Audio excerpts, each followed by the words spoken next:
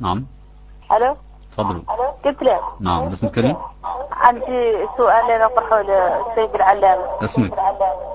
زينب من تحمدة تفضلين تتصلين منين من كي هيدي. تفضلي بك نطلب بعد اولا يدعي لي مولانا الاحترام من النار. ويشفيني من ياسر من الأمراض واقع لي. مم. نسأل الله أن يجرك من النار. وأن يشفيك من النار. و... ولا نطرح هذه مجموعة من الأسئلة. يا يخليك يعودوا مختصرين ياك بدون الأول منهم سوى التقع أنا آه، رقاجي شاشرته يا صبح رقود عادوا الصيام ويباوا يسمعوا لي الوعيان للصلاة. وهو. تم يوعيهم لين يقنط يا سؤال آخر. سؤال مم.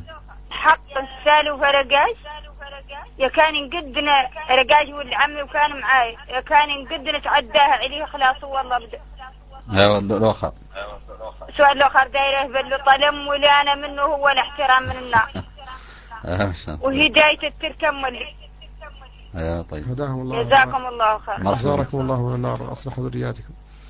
أما إيقاظ الأولاد للصلاة فهو من حقهم على الوالدين وهو من القيام بتدبير أمورهم وإصلاح شأنهم. وقد ثبت عن النبي صلى الله عليه وسلم أنه قال مروا أولادكم بالصلاة لسبع واضربوهم عليها لعشر فيجب عليها أن تبذل جهدها في إيقاظهم للصلاة وإقناعهم بذلك ويكون ذلك بالتهيئة من قبل.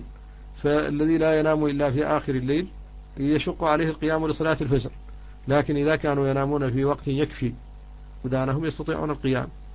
وكذلك من لا ينام على ذكر الله يشق عليه القيام للصلاة. ومن يذكر أذكار النوم وأذكار الاستيقاظ يسهل عليه القيام. فلذلك لا بد أن تدربهم على هذه الأمور وهي من حق المحضون على الحاضر. وأما ما يتعلق بأخذ الحق إذا لم يعطه من هو عليه فوجده الإنسان فهل يجوز له أخذه؟ هذا محل خلاف بين أهل العلم. والذي يترجح أنه لا يجوز له أخذه إلا برضا صاحبه لأن النبي صلى الله عليه وسلم قال أد الأمانة إلى من ائتمنك ولا تخن من خانك. فإذا وجد الإنسان حقه فليس له أخذه إلا بعلم الآخر لأنه سيتهم بالسرقة أو بالاحتيال. لا يدي عنه الحق ولا ما يدي نعم. يدي عنه الحق ولا ما يديه إلى اللي فات نعم يبرئ ذمة الآخر. يبذل مثلا